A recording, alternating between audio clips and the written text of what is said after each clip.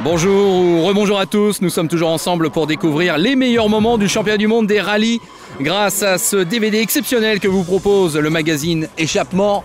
Ce mois-ci, ce sont même deux rallyes hein, qui vous sont offerts avec la manche d'ouverture en Irlande que Sébastien Loeb a remporté et la deuxième maintenant en Norvège, un vrai rallye hivernal qui va se dérouler sur la glace, sur la neige, à des vitesses hallucinantes, spectacle à venir hors norme, sensation forte garantie.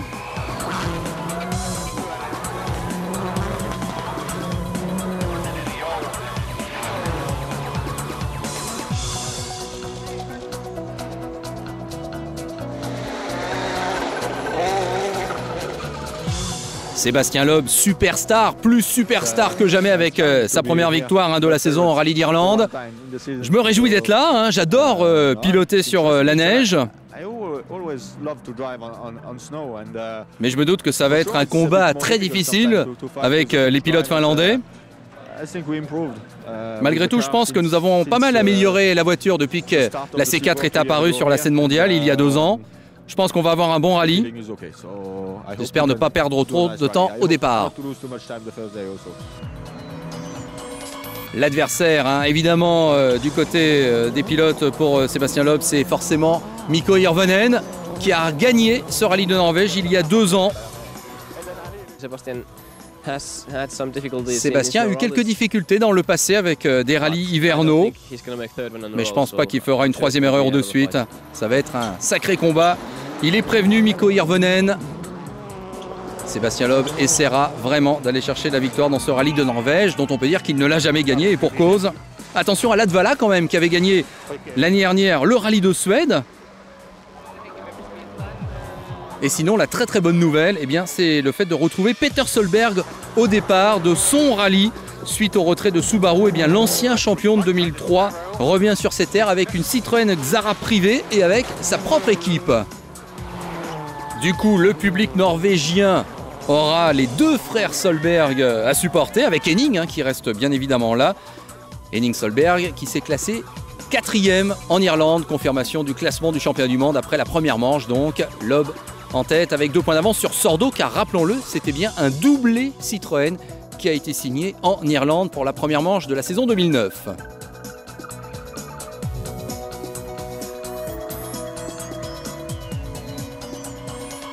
Côté constructeur, eh bien Citroën a déjà creusé un petit écart, 10 points d'avance sur l'équipe principale Ford.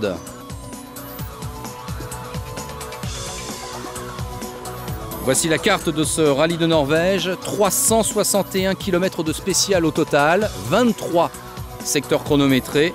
A noter que c'est la journée du dimanche qui sera la plus longue de toutes. Le rallye est basé à Hamar, à 60 km au nord d'Oslo. Alors également au menu dans ce programme, un point plus précis sur la situation de Peter Solberg, on vous en a déjà parlé. Solberg qui nous dit je veux juste piloter. C'est la seule chose que je sais faire et que je veux faire. Il nous expliquera tout ça tout à l'heure. Et puis grâce à Mikko Hirvonen, nous essaierons d'en savoir un petit peu plus sur la technique du rallye en hiver, avec notamment la gestion des murs de neige sur le bas-côté. On essaiera aussi de savoir comment les équipes se sont organisées pour affronter des températures qui sont souvent de l'ordre de moins 20 degrés. Tout le monde en tout cas est prêt à en découdre dans un décor qui est absolument grandiose. C'est le plus beau des rallyes que je connaisse. On est un petit peu plus dans les montagnes cette année, mais ça va être très très rapide. Il y a vraiment de très très longues lignes droites, et puis des fois il y a pas mal de, de petits virages qui sont très étroits, avec des murs de neige sur le côté et qui serpentent autour des, arbres. Les murs de neige sont plutôt souples, mais la neige est très très froide et il va falloir euh, utiliser un petit peu tous ces paramètres. Et nous voici pour la première spéciale rassemblée à Oslo.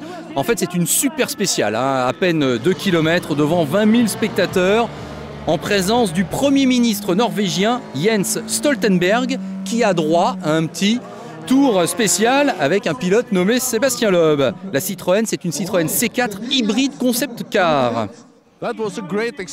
Ah, ça a été une formidable expérience. C'est évidemment un pilote professionnel et c'était bien d'être avec lui. Qu'est-ce que vous pensez de la voiture euh, hybride? Bah, Je crois que c'est un très très bon projet parce que nous sommes tous ici en Norvège, vous le savez, sensibilisés à la protection de l'environnement et je crois que cette voiture va dans le bon sens.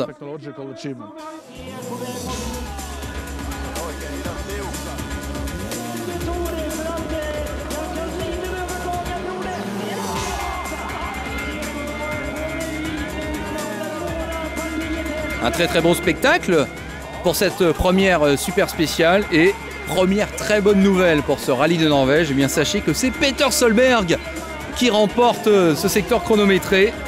Le premier leader officiel du rallye de Norvège est norvégien et il s'appelle Peter Solberg qui est de retour au plus haut niveau. Ça ne pouvait pas être mieux.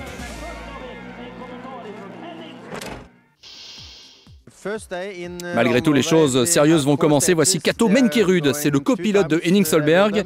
Il nous présente la première journée avec euh, une boucle de 4 spéciales. Et ça va être très très difficile. Avec euh, une neige qui, par certains endroits, est très très souple. Et l'assistance sera située un petit peu plus au sud de ces secteurs chronométrés. On va se retrouver tout de suite au départ de la deuxième spéciale qui s'appelle Opaker. 14 km 620 très précisément et température enregistrée moins 20 degrés, vous l'avez vu. Allez, Sébastien Loeb au départ, on se souvient donc de sa carrière. Ferme 140 moins. 80 mètres. Gauche 140 moins, long tard, ferme léger. Sur droite, ferme 140. Et attention, droite 130 moins, long tard. Sur gauche 120 millions. On le ferme dans le 140. Sur droite à fond ouvre. Sur gauche un plus long tard. Et droite 120 millions tard. 150 mètres. Vous avez entendu, hein, parfois on n'hésite pas à dialoguer entre Sébastien Loeb et Daniel Elena. N'hésitez pas à aller voir du côté des bonus hein, dans ce DVD également avec les plus belles caméras embarquées de Sébastien Loeb et de Sébastien Augier à l'occasion de ces rallyes d'Irlande et de Norvège. Allez, Mikko Hirvonen maintenant. Sébastien Loeb a déclaré que c'était lui le favori. Peut-être histoire de lui mettre un petit peu la pression.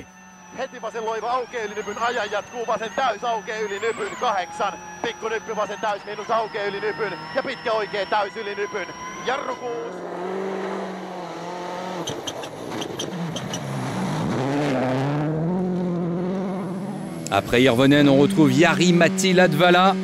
Le Finlandais, 23 ans, doit se racheter après son erreur en Irlande.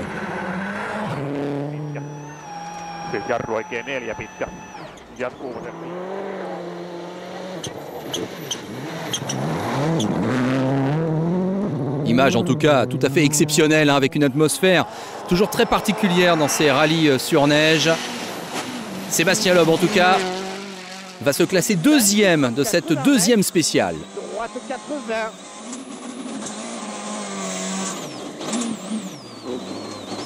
Mal roulé. Ouais, pas content de lui, le champion du monde. On va tout de suite euh, Écoutez un petit peu plus euh, en détail son analyse. Ça s'est bien passé au début, le grip était plutôt bon, mais à partir du milieu de la spéciale, j'ai perdu un petit peu de ma confiance. J'ai commencé à aller un petit peu trop sur les côtés, j'ai perdu de l'adhérence. Et voilà, comme je vous le disais, avec le, le grip qui changeait, j'ai perdu ma confiance et j'ai pas fait un très bon temps, je crois.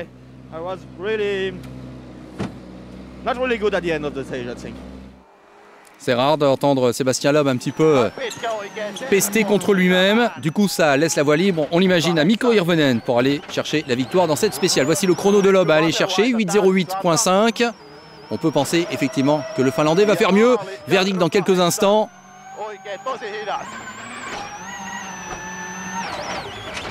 Ouais, c'est bon. 2 secondes 5 de mieux par rapport aux Français.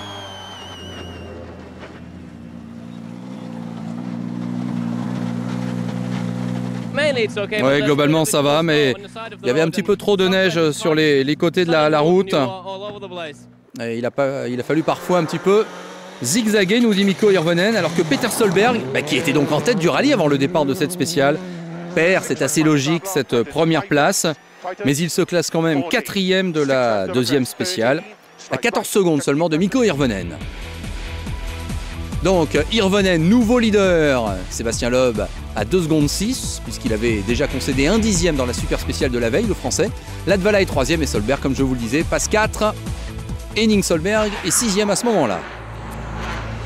Allez, comme promis, on s'intéresse un petit peu plus euh, longuement à Peter Solberg, qui a évidemment été le premier concerné par le retrait de Subaru de la scène mondiale il y a quelques semaines à peine.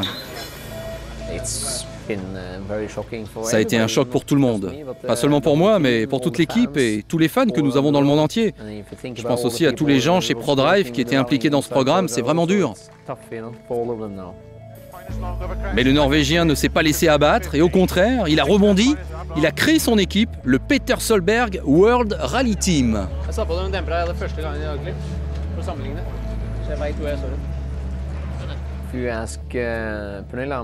Demandez à ma femme Pernilla, depuis que la nouvelle est tombée, je n'ai presque jamais été à la maison. Je me suis lancé dans ce programme, j'ai réfléchi, j'ai planifié des choses, j'ai parlé à des sponsors, j'ai essayé des voitures, j'ai fixé des rendez-vous.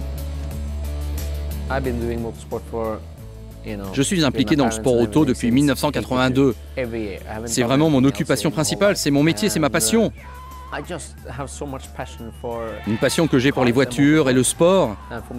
Et je peux vous dire que je n'étais pas au départ du rallye d'Irlande, donc il y a 15 jours, et c'était pour moi un vrai crève-cœur.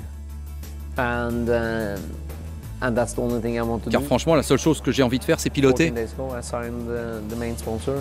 Il y a deux semaines, j'ai signé avec un sponsor et nous avons pu monter cette équipe. Pernilla est là avec moi. J'ai aussi un ami qui travaille avec moi nuit et jour. Beaucoup de gens sont avec moi depuis ces derniers jours, environ 25-30 personnes. Ce n'est pas rien. Globalement, ça a été trois semaines de folie pour moi. Peut-on envisager une bataille fratricide entre Peter et Henning pour ce rallye de Norvège 2009 J'espère qu'on va pouvoir se battre ensemble et bien s'amuser en tout cas. Que ce soit avec Henning ou quelqu'un d'autre, on verra bien. On peut enfin supposer que ce qui va se passer en Norvège sera peut-être un tremplin pour le reste de la saison pour Peter Solberg. D'abord, on est ici, en Norvège. On analysera la situation après. On verra comment je peux m'organiser. Mais d'abord, je le dis, on reste concentré sur la situation actuelle.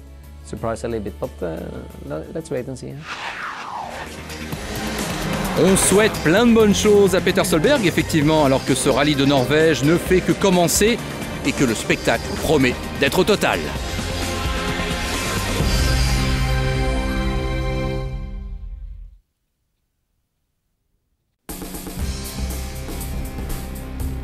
La première journée n'est pas encore terminée ici en Norvège, ce pays qui ne compte que 4 millions et demi d'habitants, absolument magnifique en cette saison, même si des bolides viennent un petit peu rompre le calme de la nature. On veut bien sûr parler des ténors du WRC qui vont maintenant en découdre pour la suite et la fin de cette première étape.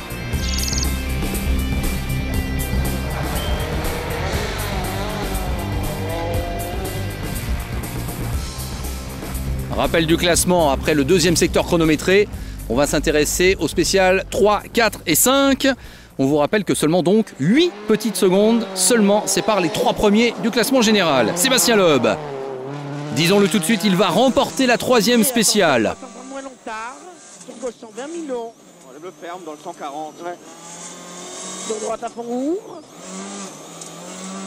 Et du coup, le nouveau leader du rallye, dans les mêmes conditions ou presque. Et à propos de rallye de Suède, du côté des bonus sur le DVD, ne manquez pas le bonus historique, le rallye de Suède 1986. Et la faute là de Latvala Il peut revenir, il n'a perdu que quelques secondes, mais quand même, ces fameux murs de neige dont on vous parlait tout à l'heure. Très piégeux. Pour l'instant, malgré tout, Latvala contient Sordo pour la troisième place au général. Revoici Peter Solberg. C'est un petit peu plus difficile maintenant. Là aussi, des petites erreurs. Il est cinquième au général, 20 secondes derrière Danny Sordo. Et puisqu'on parle des Solberg, voici le frère aîné, Henning. Pas satisfait euh, de ses réglages. Lui aussi, il heurte un mur de neige dans la troisième spéciale. Il tombe à ce moment-là à la dixième place au général avant de se rattraper un petit peu dans les deux spéciales suivantes où il prend la cinquième et sixième place. Bref, à ce moment-là, il est sixième au classement général. Et puis gros plan maintenant sur Mads Ostberg, un jeune Norvégien de 21 ans, au volant d'une Subaru. eh bien il va lui arriver un souci. Voilà, c'est pas la bonne trajectoire. Et il demande aux spectateurs de venir l'aider. Il va pouvoir repartir. Il pointe à la 13e place au général. Le classement donc entre Irvonen et Loeb, 4 secondes 8 seulement. On sent que le duel est parti et ne s'arrêtera peut-être jamais. Ladvala a déjà un petit peu décroché à 25 secondes 7. Et Daniel Sordo contrôle donc les frères Solberg. Retour à l'assistance. L'occasion d'aller écouter les impressions de tout le monde, ou presque.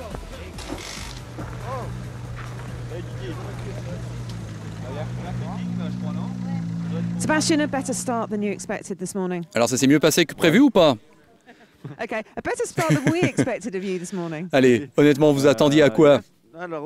Non, les conditions étaient plutôt pas mal pour moi. J'étais le premier sur la piste, mais c'était pas mal parce qu'ils ont passé une déneigeuse avant et du coup c'était assez dur et j'ai trouvé du grip. En tout cas, c'était un beau duel déjà avec Miko et je pense que ça va continuer comme ça. Mais pour l'instant, ça va. C'est plus ou moins ce que j'attendais. Au niveau de l'adhérence, ça ne s'améliore pas au niveau des spéciales. Peut-être que ce serait mieux si j'étais vraiment euh, le premier à ouvrir la route. En tout cas, ça va être un combat très serré. Ça se passe bien pour moi. Je crois que je suis le premier au classement des non-pilotes officiels, avec une vieille voiture, donc c'est bien. Température enregistrée sur le parcours à ce moment-là, moins 27 degrés. Alors comment on fait pour se réchauffer? Le plus important, c'est évidemment de mettre des épaisseurs supplémentaires dès qu'on sort de la voiture. Et puis on a un petit système euh, électrique relié aux chaussures qui les maintiennent euh, avec une température chaude. Est-ce que vous gardez le chauffage dans la voiture en, route?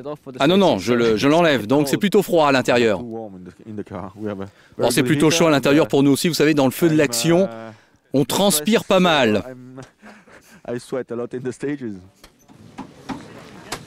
Moins 27 sur le parcours, il ne fait que moins 16 à ce moment-là à l'assistance. Vision, lorsque c'est jour blanc comme cela.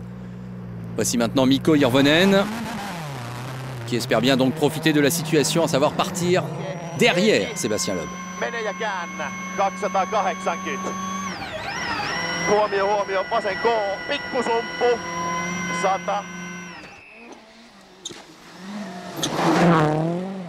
Passage très très spectaculaire. Voici maintenant Yari Ladvala. On attendait peut-être un tout petit peu mieux de sa part à l'issue de la première journée, mais il est quand même un solide troisième, prêt à profiter de l'occasion hein, s'il devait y avoir un souci pour Irvenen ou pour Loeb.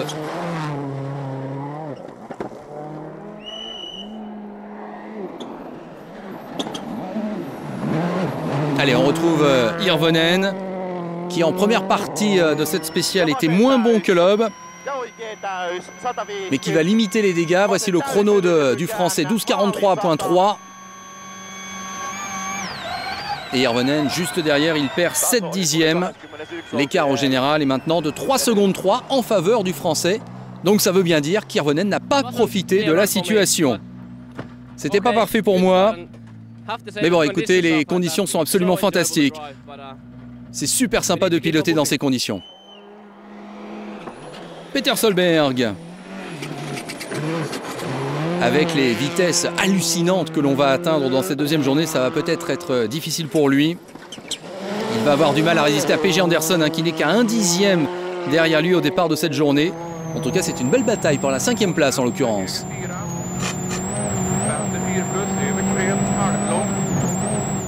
Et effectivement, Anderson va signer la cinquième place dans la dixième spéciale. Il est cinquième maintenant au général. Henning Solberg, il est sixième lui au général. En fait, il double son frère, donc Peter perd deux places d'un coup. Anderson et Henning l'ont dépassé. Alors, Virtual Spectator, notre fameux système, toujours très impressionnant. Comparatif entre Loeb, Henning Solberg et Peter Solberg. Regardez les vitesses de pointe. Eh oui, il est clair que Peter ne peut rien faire par rapport à son frère aîné et à Sébastien Loeb, il le rend à peu près 20 km/h.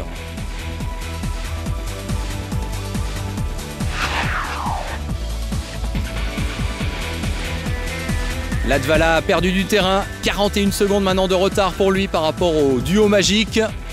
Et donc Anderson est maintenant cinquième comme on vous le disait. Sordo isolé finalement à la quatrième place. Comme annoncé dans le menu de ce programme, rendez-vous maintenant avec euh, Mikko Hirvonen qui va nous parler de ces fameux murs de neige sur le bord de la route. C'est le rallye de Norvège, c'est très technique, les routes sont étroites, beaucoup de neige, de glace, un vrai rallye hivernal.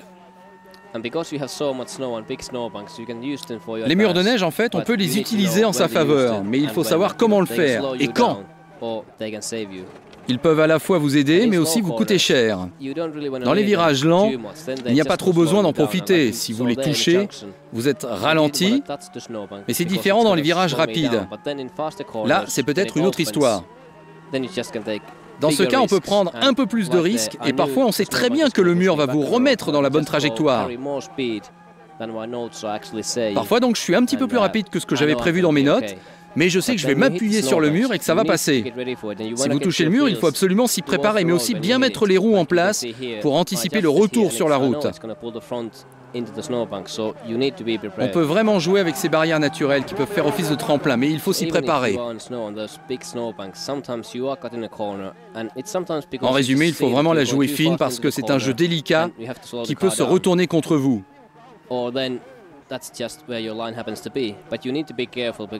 Si on loupe sa manœuvre, on se retrouve dans le mur ou en tête à queue, voire en tonneau, et évidemment ce serait fini.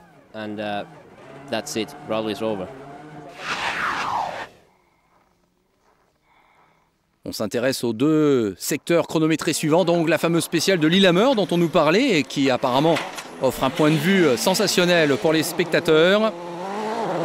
Alors il faut savoir que Sébastien Loeb était sorti dans la spéciale de Lillehammer il y a deux ans, hein, ce qui lui avait coûté peut-être la victoire en Norvège. Va-t-il prendre en quelque sorte sa revanche deux ans plus tard? Eh bien la réponse est oui, il remporte la spéciale de Lillehammer, le français. Mikko Hirvonen. La tactique donc euh, n'a pas marché, on s'en est rendu compte dès la première spéciale du matin.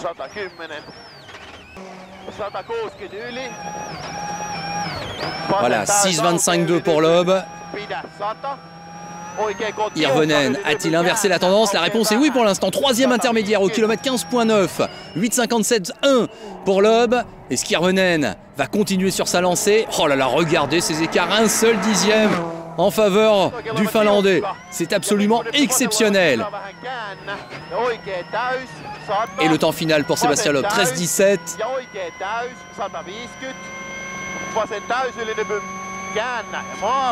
Et non, Hirvonen est battu. Il concède une seconde 4 le Finlandais.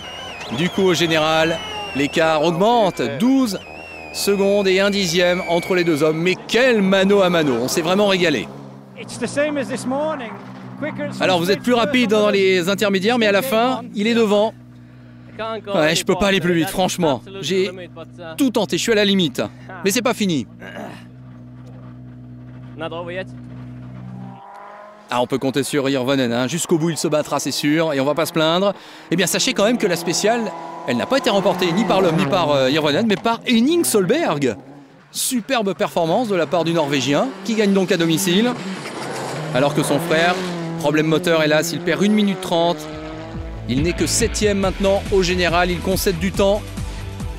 Et Latvala aussi en a concédé. Et à partir de la quatrième place, Solberg, on est à plus de 2 minutes 35. Donc il y a vraiment Loeb, Irvonen et les autres. Un petit coup d'œil sur d'autres spécial de Mountain. Il passe finalement entre les gouttes et il se retrouve sixième au général, c'est pas mal. L'Estonien Ava, il est huitième lui au général, donc dans les points.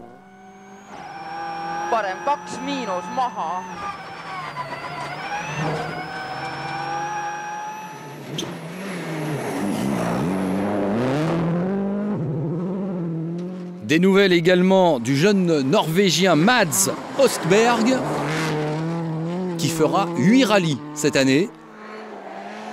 Il est 9e au général. Et puis du côté du pilote du Zimbabwe, Korad Rottenbach, membre du Citroën Junior Team, des difficultés. Il ne se classe que 35e suite à ce petit souci mécanique de la 14e spéciale. Il est 11e au classement général.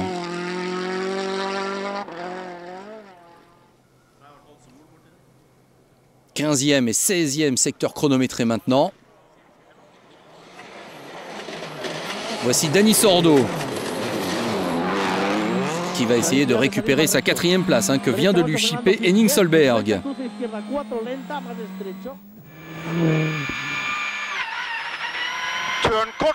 Pendant ce temps-là, évidemment, le Norvégien est à l'attaque pour préserver justement cette quatrième place.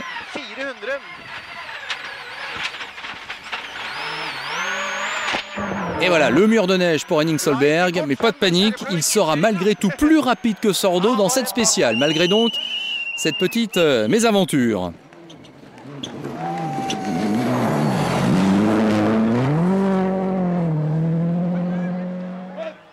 Finalement, les deux frères Solberg sont en bataille. Il y a Henning face à Sordo, on l'a compris. Et puis Peter, lui, est face à Matthew Wilson pour la sixième place. Et à l'issue de la 16e spéciale, eh bien, bonne nouvelle pour Peter Solberg, il prend effectivement cette sixième place. Latvala remporte les deux spéciales, numéro 15 et 16. Superbe performance de la part du Finlandais, mais on peut se demander si elles n'interviennent pas un petit peu trop tard.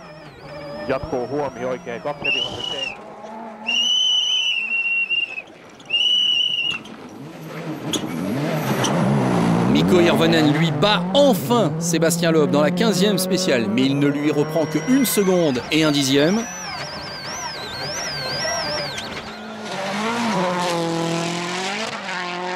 Pas trop de soucis donc pour euh, Sébastien Loeb qui reste devant son adversaire. Et gauche à fond.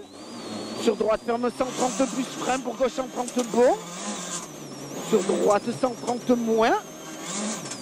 Et attention, ciel pour 20 mètres, droite 80 plus tôt. Le classement à la fin de la deuxième journée est donc le suivant. Il y a maintenant officiellement 15 secondes d'écart entre Loeb et Hirvonen. Ladvala, toujours pas trop mal placé à 43 secondes environ. Et derrière donc Solberg devant Sordo et Solberg l'autre devant Wilson.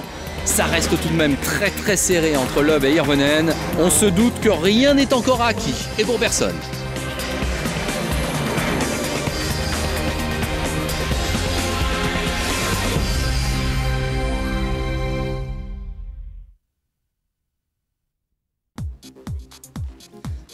Retour en Norvège avec la dernière journée d'action et une bataille toujours autant serrée entre Sébastien Loeb et Mikko Hirvonen.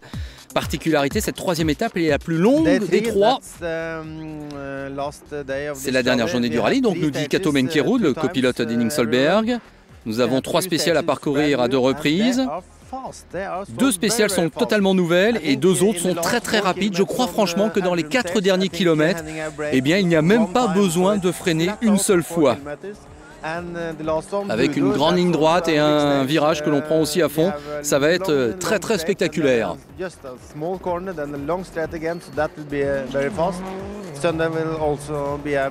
Une configuration effectivement un petit peu spéciale avec donc des vitesses euh, très élevées et 126 km de secteur chronométré. Et seulement 15 secondes donc d'écart entre Loeb et Hirvonen. On va tout de suite s'intéresser aux trois premières spéciales euh, du jour. Au niveau température, moins 22 degrés. Ah c'est quand même euh, plutôt frisqué, vous en conviendrez. Allez, Sébastien Loeb le premier au départ dans cette 18e spéciale longue de 30 km.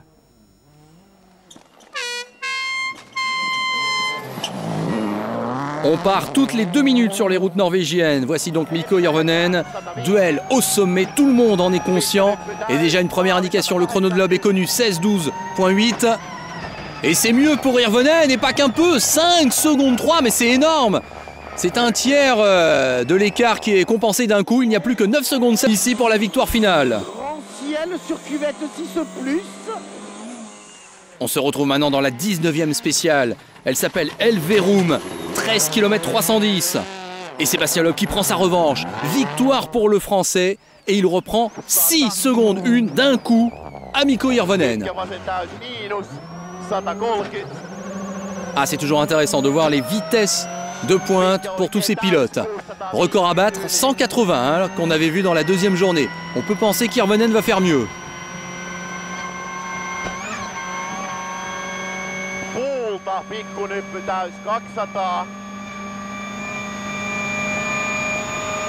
Et eh bien voilà, 202 km/h. Là, franchement, c'est absolument incroyable. C'est fabuleux. Et ce rallye de Norvège, on peut vraiment le dire, hein, euh, est un rallye d'anthologie, car euh, le duel est absolument euh, sublime entre les deux hommes. Et dans ces conditions, il n'en est encore que plus beau, avec donc plus de 200 km/h atteints en vitesse de pointe. Allez, on retourne avec les autres, les outsiders avec euh, Sordo qu'on a aperçu qui a perdu du temps sur Henning Solberg et puis Peter Solberg qui se bat toujours avec Matthew Wilson pour la sixième place. En fait, euh, à ce moment-là, eh Wilson se rapproche dangereusement du Norvégien, mais Solberg heureusement reprend dans les spéciales 19 et 20 un petit peu de marge par rapport à son rival anglais. 14 secondes 6 à ce moment-là d'écart entre Loeb et Irvonen.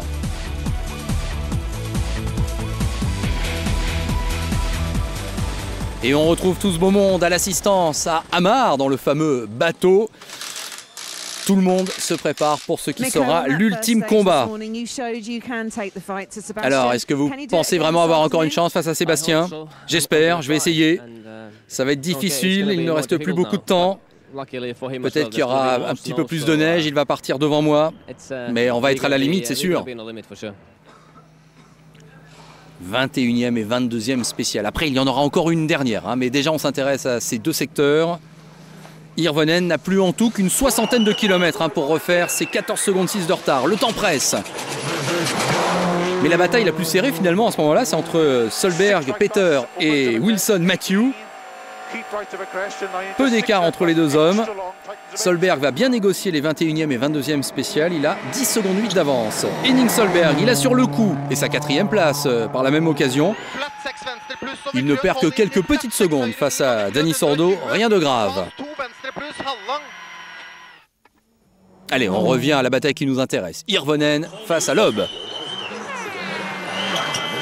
Eh bien, sachez qu'Irvonen remporte la 21e spéciale et la 22e. Deux victoires qui arrivent à pic pour Irvonen, ce qui fait, tenez-vous bien, qu'il n'y aura que 7 secondes 7 d'écart entre les deux hommes avant le départ de la dernière spéciale. 7 secondes 7 pour départager deux ténors comme Irvonen et Loeb. Que demander de plus pour le spectacle? Et donc, nous y sommes. 7 secondes 7, vous le voyez, c'est marqué. 19 km 740 pour départager les deux hommes dans cette spéciale dite de Budor. C'est la grande explication finale. Auparavant, on s'intéresse à Ladvala, qui va connaître une belle frayeur, mais il s'en sort. Septième de cette spéciale, il est toujours troisième au général.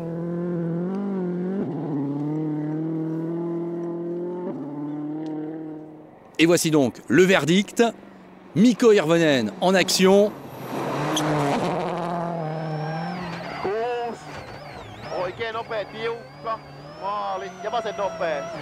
Eh bien, Mikko Hirvonen concède deux secondes à Sébastien Loeb dans ce dernier secteur. Il perd donc ce rallye de Norvège. Je suis content que ce soit fini. C'était une bataille absolument incroyable, un week-end de folie. Mais je ne sais pas si on pouvait continuer comme ça très longtemps. Donc voilà, Mikko Hirvonen reconnaît sa défaite. Sébastien Loeb n'a rien lâché dans la dernière spéciale. Et il termine finalement avec 9 secondes 8 d'avance au général. Superbe, première victoire donc pour Sébastien Loeb en Norvège. Pour gauche 130 millions. Et attention, droite 130 moins millions tard. Sur gauche 130 plus.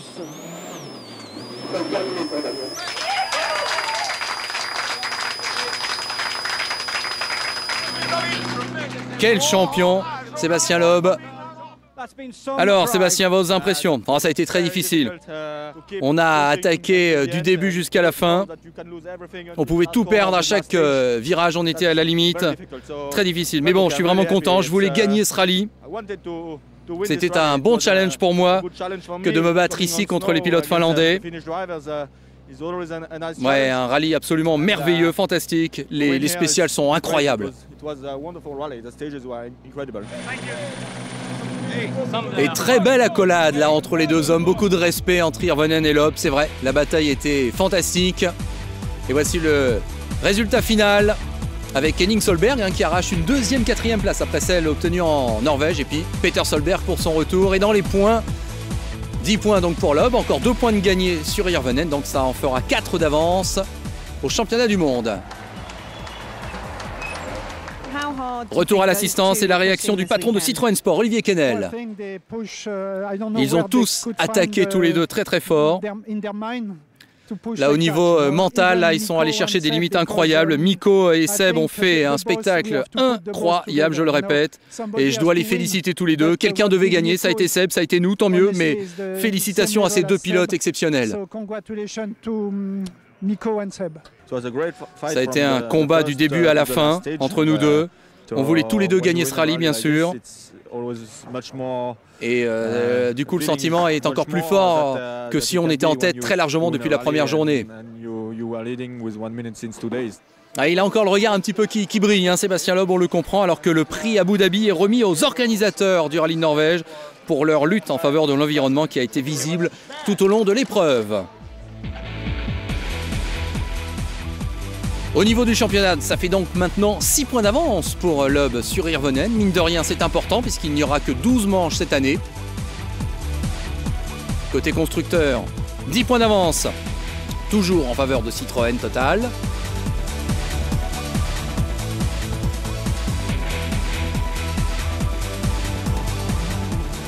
Et sachez que la troisième manche du championnat du monde, elle aura lieu au milieu du mois de mars, ce sera à Chypre. Mais en ce qui concerne notre prochain rendez-vous, notre prochain DVD, dans le cadre euh, du magazine Échappement, eh bien ce sera pour euh, la fin mai avec le numéro daté juin. Et vous aurez là encore eh un DVD avec deux rallyes au programme, les rallyes d'Argentine et de Sardaigne. Deux victoires, 49 dans sa carrière. N'hésitez pas à aller voir les superbes bonus qui sont également dans ce DVD. Merci d'avoir été euh, des nôtres pour suivre ces fabuleuses actions en WRC. A bientôt